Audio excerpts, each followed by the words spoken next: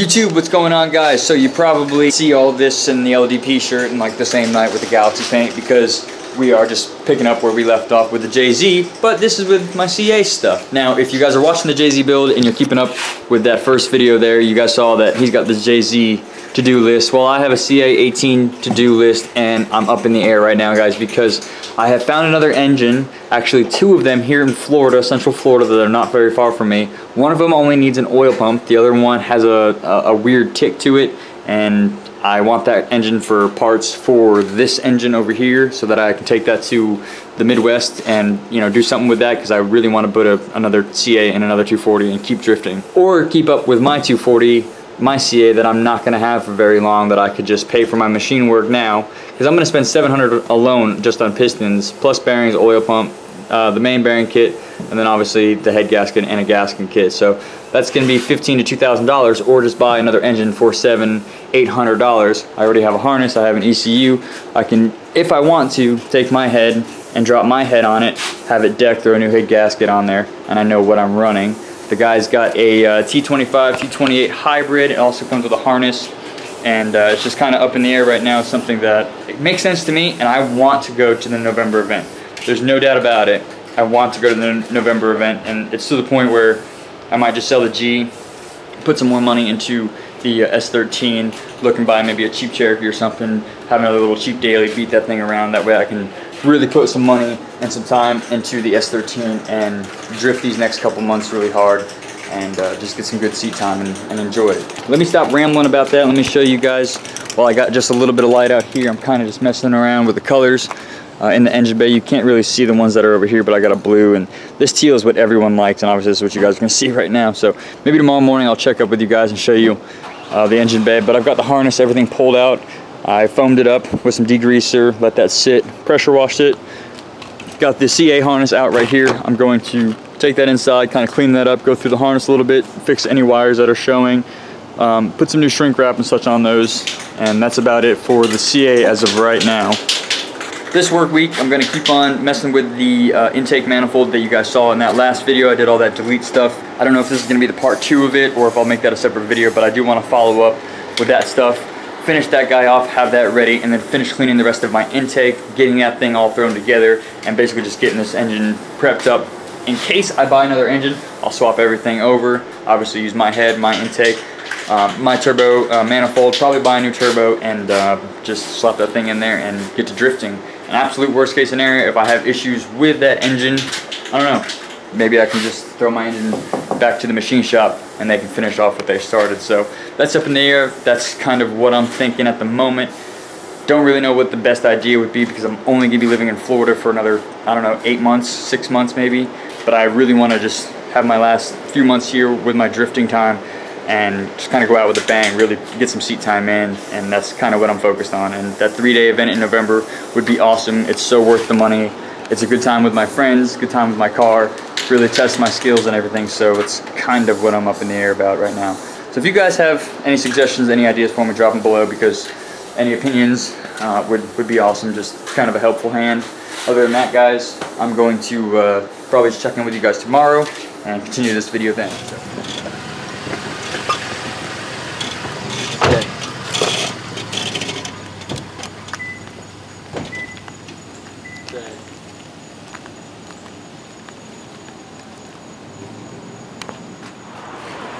So. If you guys couldn't tell, I have purchased another CA like I talked about in the beginning of the video. It was up in the air. I don't know, uh, or I didn't know if I was gonna pick this guy up and uh, actually ended up working a deal that was a little bit better than what I had originally talked to him about and uh, I bought another CA. So a few cool things on it. T25, T28 hybrid from ISR. It's like not even six months uh, old. And then there's an Exedy uh, OE clutch that's seen maybe 10 events. It's got some silicone hoses on it. RB20 coil packs, the clutch fan. I finally have an alternator bracket that's gonna work. And it actually has some of these cool sensors. Although I'm not gonna use them, I'm gonna hold on to them, you know, for another CA build down the road. Here it is, another CA. This is what I'm gonna be dropping in my car to get my 240 back up and back to drifting Shout out to Talon again. I uh, installed a lift kit for him on his uh, Tacoma here.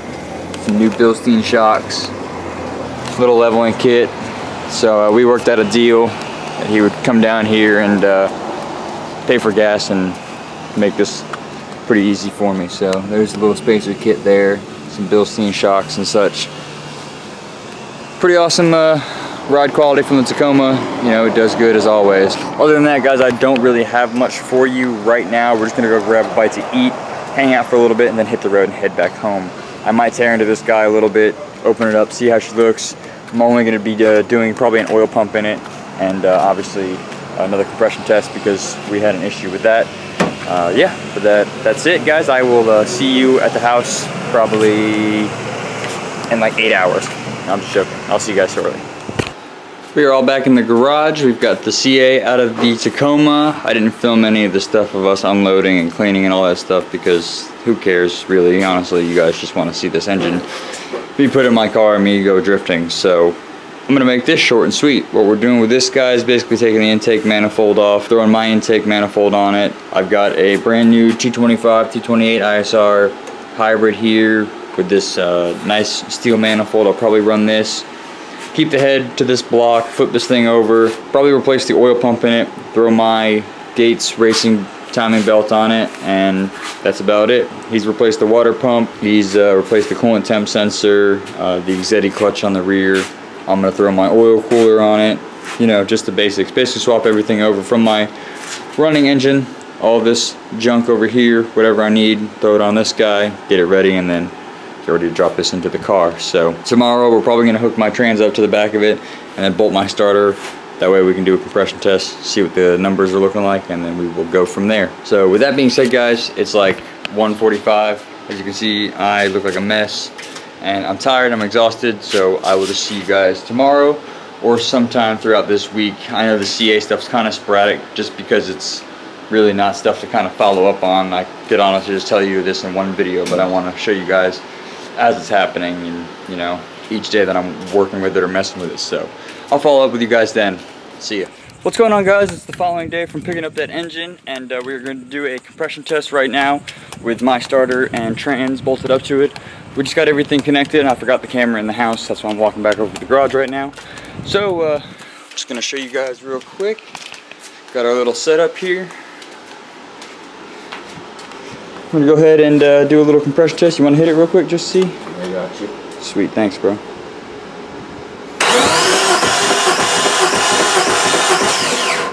Oh yeah, look at that. 155, 160-ish. Oh yeah.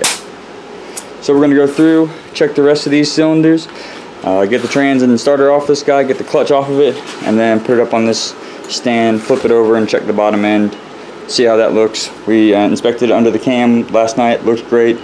Maybe I'll just uh, check in with you guys and do that after that. I don't know, we'll figure it out.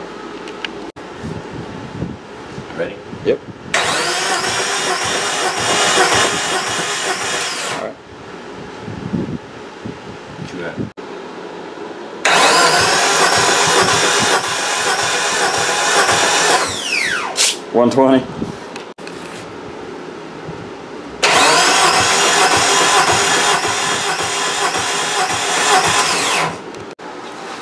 So she's off the uh, engine hoist and on her stand here next to the JZ.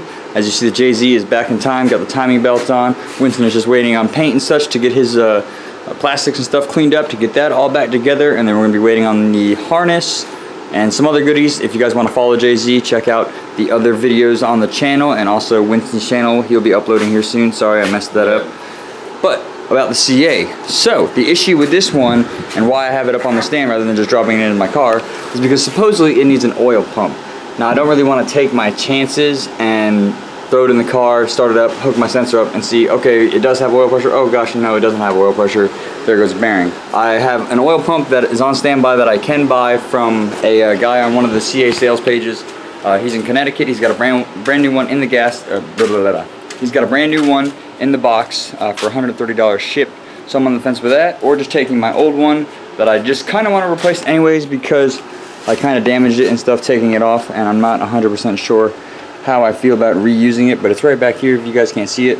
Um, I kind of thought about just slapping that on there because I know it works, but I might be safe and just uh, order that pump from that guy. uh, save myself 50 60 dollars rather than ordering it from Nissan and then get the guy on there get it all back together and then throw it in the car uh, as you guys saw the compression checked out besides uh, cylinder 3 I mean it's not the best in the world but it's gonna get me to the event that I want to go to by uh, November 21st which is the Black Friday event uh, I'm upgrading the turbo upgrading the clutch got an Exedy clutch here if you guys want to check that out you may or may not be able to where is it it's in there somewhere it says Exedy on it somewhere. I've bolted down the uh, uh, flywheel, or excuse me, the uh, pressure plate onto it. So, anyways, believe me when I say that's an Exedy clutch. Uh, this is the ISR. You guys can see there. T25, T28 hybrid, nice steel, stainless steel tube manifold there. Uh, it's got the silicone hoses here and there. And he's uh, deleted a few things but I'm probably going to swap my intake manifold onto it because I don't have uh, the uh, AAC and the uh, IA intake I, idle air I don't even know how to I always get confused. Intake idle air control valve something like that. Um, you guys know what I'm trying to say here. Uh, get that stuff off just pull this whole thing off. I'll probably use the injectors out of this engine because one of mine had a cracked um, whatchamacallit on it here not the housing itself, but the actual nozzle right here on the other one. They're in the house, but that part cracked and it fell off, so I don't really feel safe using that. That was freshly painted too. I don't really feel safe using that cracked injector, so I'll probably just use these ones because these are known good injectors. And I can throw a video in of this car actually drifting, doing a little bit of parking lot drifting in the rain. You guys can kind of hear it and see that it ran and drove. And um, obviously we did the compression test, so we know it's got life in it turns over and such. So uh, with that being said, guys, we're gonna just rip into it. I probably won't film all that nonsense because you guys have seen this a hundred times, and uh, I'll just check in with you in a little bit when we uh, get this thing apart and see what's up with it down there on the bottom end. What's going on guys? So I've got the engine all apart, I've got the oil pan, everything off right here as you guys can see, obviously. Now a few things that I did notice. I'm going to throw in a video when I first got the oil pan off, I sent it to the previous owner. The uh, engine here, it, it lost oil pressure for a split second, the previous owner states. Now, he said the oil light flickered on and off. He parked it immediately, put it on a tow truck, towed it home, and it's been parked since. Now, for the most part, I believe him because everything is checking out. Let me grab my phone here. Everything is looking really clean for an oil pump to fail for a couple seconds or I mean, I think if an oil pump failed for a minute, I feel like the engine would be gone, or toast, you know, the bottom end. So, here is, uh, you want to grab that bearing for me real quick? Gotcha. Thanks, man. Here's this bearing and cap. You can see a little bit of scarring right in it, but it's nothing too major. I mean, for what it is, you know, they could be replaced, obviously, but, you know, this is just to get me back to the track on the road. Thank you, Winston. Appreciate it, bro. Um, so that checks out. And then another thing, whoever was in the engine before put the pistons in in the wrong order. Now let me see if I can zoom in and show you here. There, you see says number four. Well, that is the first piston. So, one of two things. Somebody was either in this engine, they honed it, put new rings on it, or had a machine shop hone it, clean it up. This oil pump looks really, really, really new, really clean. It doesn't make sense as to why somebody replaced the oil pump, and not do machine work, but you never know. It's gonna make you a little mad, but whoever was in the bottom end didn't do tidy tidy. Used RTV. You lost your pickup tube and your hardware. Yeah, if this bottom end is fucking okay, bro, then I'm running this oil pump. So with that being said, I'm just slapping my strainer for my engine on. I've got my hardware, and as you guys saw in that video, this person was using this strainer, um, it got a little tweaked up here. There's a, yep, you can see it there. It's kind of bent on the bottom, and they were using RTV for the gasket. You see if I can find the little, there it is. This is just a little RTV gasket. So that's why it would lose oil pressure. I'm gonna throw everything back together, drop it in my car, and pray that it has oil pressure. I think it's gonna work just fine. Can't see why it wouldn't. And we're gonna send it. Well, instead of the JZ, it's the CA. I don't know why I do this to myself. I guess because I'm just ready to get this engine in there. I have just about everything. Here's my little list. Obviously I bought the engine. Uh, It's been updated if you guys couldn't tell from the beginning of the video, but got everything torn down, retorqued, got uh, new gaskets on here, got some RTV up here in the front, RTV on the uh, oil pan, that's all sealed up. Fuel lines are on here, deleted those hard lines in the back. Got the vacuum line for the brake booster here, butterfly and EG or uh, uh, fuel pressure regulator. Got this plum crankcase breather down here, a little crazy with a lot of hose clamps, but uh, couldn't use the uh, OEM hard line that's over here because of uh, this water line that's ran over here to the turbo, but I've got that tucked up nice and neatly. Tucked right there next to the exhaust. Got this guy wrapped around for the oil feed, oil drain. Got a little clip on there. That guy's holding that in place, so that'll be out of the way. I'll probably pull that up a little bit when we go drop the engine in there. Everything's on there. Oil pressure sending unit for the oil cooler. Got this oil filter on it. I'm gonna get a new one obviously and change the oil that's just on there. We're good to go. There's my alternator bracket. Just a KA bracket, just modified, cut and bent a little bit. We are good to go guys. Probably sometime this week, if not tomorrow or today, whatever you want to call it. Uh, we'll be dropping this guy in there. You know, after we bolt up the trans, get the starter on there, get everything good to go. We'll uh, hopefully get the car in there, get the harness, and fire up and get back to drifting. So I'll see you guys when uh, it's time to uh, bolt the trans up and get everything situated.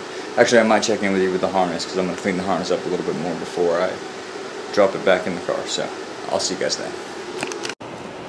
So today is the day that the engine will be going into my S13. We've got everything bolted up and we've got the engine on the cherry picker right here. What we're going to be doing is uh, cleaning up everything right here in the garage so we can roll this thing out. And I forgot to update you guys and film, but I did paint my bay while uh, I was uh, prepping everything. So we're uh, with this new uh, mint color here. That's why I kind of went with the pink, save the tatas, you know. I'm a booby man myself, so we're going to uh, pull all this uh, tape off and stuff off this wiring harness, get this engine uh, or get this car jacked up, get the front bumper off of it, and then we'll drop the CA in, get everything bolted up. I went and got an oil, oil filter, fuel filter, and uh, I ordered some spark plugs. So I'm just going to use the plugs that were in the engine before just to make sure that it starts up, runs here at idle, do the whole nine yards. And then uh, from there, guys, we will button everything up. I still need to get a radiator because I sold the Mishimoto with the white car that actually ended up failing. So I got really lucky with that. I feel bad for the guy that I sold it to because I really like that radiator, but it did fail on the guy, so he had to get a new one. Anyways, if you're watching that, sorry, bro. Uh, yeah, we're just gonna get this guy in here. Sorry about the wind and stuff. It's a really windy, not stormy day. It did storm this morning, um, but it's just kind of crazy right now, the weather with this cold front and stuff coming through. So let's uh, just uh, hop right in and, and get this engine in here. No time to waste. Alright guys, so we got the engine in the car, everything is bolted up. We've got to do a few things like get a transmission mount. Um, that one, that urethane mount that I have, that ripped uh, when I wrecked the car street drifting. And then uh, I've got to tighten down the engine mount bolts that are on the uh, cross member side or the, the subframe side, whatever you want to call that on the bottom end. And then lastly, I'm probably going to have to get an igniter. Now, if you guys don't know what that is, here's the little one that's for the CA. This is the one that I've got the part number here for. Um, let's say 2202085M either 00 or 00. There we go, you see a little bit better there. That guy, we're not getting any spark at the coil packs. We're getting fuel and everything. Everything's up there. As you guys can see, the engine's in here, or barely see. The lighting's kind of terrible. Uh, everything's cleaned up. All the wiring and stuff is tucked where it needs to be. Everything's wired up. Just got to figure out what that issue is. So we're going to get an igniter uh, hopefully within the next couple days. The guy that I bought the engine from, he has one down at Tampa. He said he'd ship it up to me. And we're also going to run up to the junkyard tomorrow and check that out and see if we can find one in a Q45 or just any other Nissan that might have a uh, like four to uh, five prong igniter. So uh, that being said, guys, that's about all I got for tonight. I'm a little frustrated, a little annoyed, so um, I don't really have much to update you guys on. I've got to trim a little bit on my pig nose bumper to get that to fit over the bash bar in the front because the little lights are hitting, little turn signal lights. And other than that, guys, we are uh, just in the final stretch getting this thing uh, starting up, well, started up and running. After that, I'll just have to put some new coilovers on it, do a bolt check, and we should be good to go drifting. Uh, but yeah, guys, I'll check in with you tomorrow and uh, figure out about this uh, igniter issue and this no spark issue.